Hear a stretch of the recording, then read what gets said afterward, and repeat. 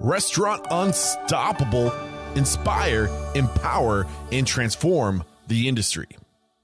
I don't think anybody would classify what I had was a failure. It was just, it didn't, it's not what I'm doing right now with the level of success. So, um, I had a marketing company where I just kind of worked out of my house. I ended up growing and bringing on bigger clients.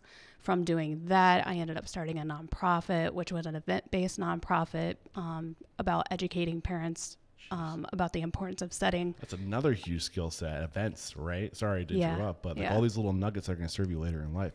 So these, when you do- were doing your branding in your in your graphic design, and then that evolved into digital marketing, were these your businesses, or were Yes. you working for? Oh, these were your businesses. Yeah, I these thought- were my businesses. Okay, okay. Yeah. So um, let's start pulling back the layers. You said you started first with just uh, the visual aesthetic graphic design branding.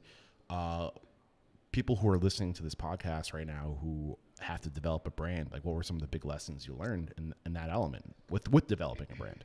I mean, it's really um, so when I would try to create a brand, it's such a simple, basic concept. It's connecting your product with the consumer. So it's understanding your product and how that product connects with the end person, who, whether it's a business, whether it's somebody, a customer coming into a restaurant, whether it's somebody buying a product at a store.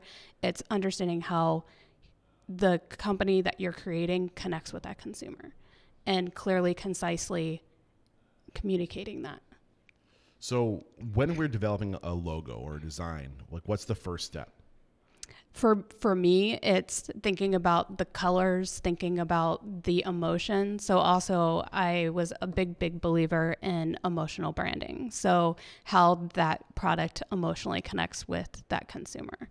Um, Coca Cola was a really big founder in creating those campaigns back in you know the um, late 70s and you know people smiling and drinking stuff and uh, doing things that were emotionally based you know sharing a coke together so when you're creating a brand even though it's a logo that logo has to remulate and like um, like reflect everything that's a part of that brand Why is emotional branding so important? Or why like what is happening with emotional branding that makes it Well, now it's so evolved even more. So now you're looking at social media, and social media is like based on pictures, not just like words and you know things that you hear over the radio. It's about visually seeing the emotion that you know ties you into wanting to have that product. Um, so when you're we're creating a, a brand, you said you, you start with the colors and you, and you try to like what how do colors evoke emotion?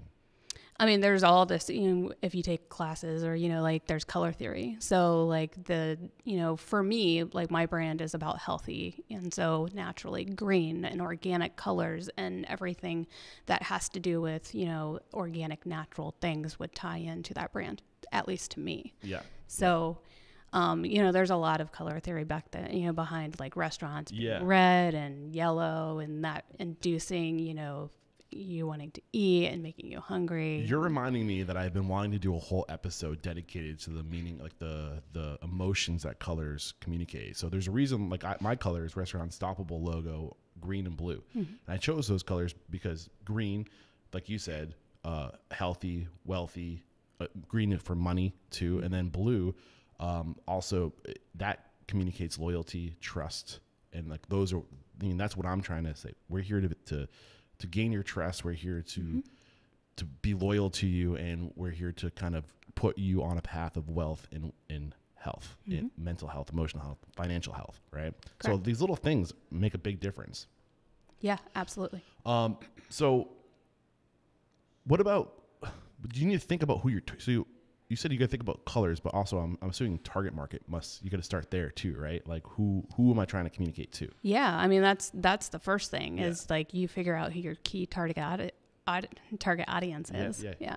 Um, okay, so how did you evolve into you know visually branding and design to more digital? How did that evolution ha- happen? So it's interesting. Um, I got pulled into a project. I, I can't even remember how I found the project. I th- it was online. I think it was like a posting on Craigslist or something random um, about a project that was about aggregating all the information and things to do for parents in a local like city. So I lived in Columbus, Ohio.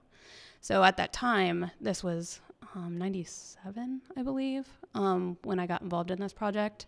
There was really nowhere where you could go, um, like in a city, and find out the classes to do with the kids or the sporting programs or anything like that. So I got in at the very ground floor, and my job was to figure out how to let the parents in that city know that this website existed. This was back in 97. This is like before, this is like before MailChimp and everything really existed, Constant Contact. They were there, but it was, they didn't have the tools that are now integrated into those um, email marketing programs. Where was email marketing at that time? Because I, I mean, I didn't even really start to learn about email marketing until like 2010 for me in 2012 when I started like learning about entrepreneurs. Yeah, I mean it was archaic. It was, you know, very clunky. You pretty much had to like aggregate your lists all on your own. There was not like the pop-ups to, you know, collect data, you know, that you get now that are now integrated into Mailchimp or into websites. So you had to be very creative in trying to figure out how to get that person to give you, you know, their email address and then strategically get back in front of them to you know think about how they conduct their day-to-day life or what they're doing and how you know when they would be looking for this information to get the highest return on investment in your time your energy your money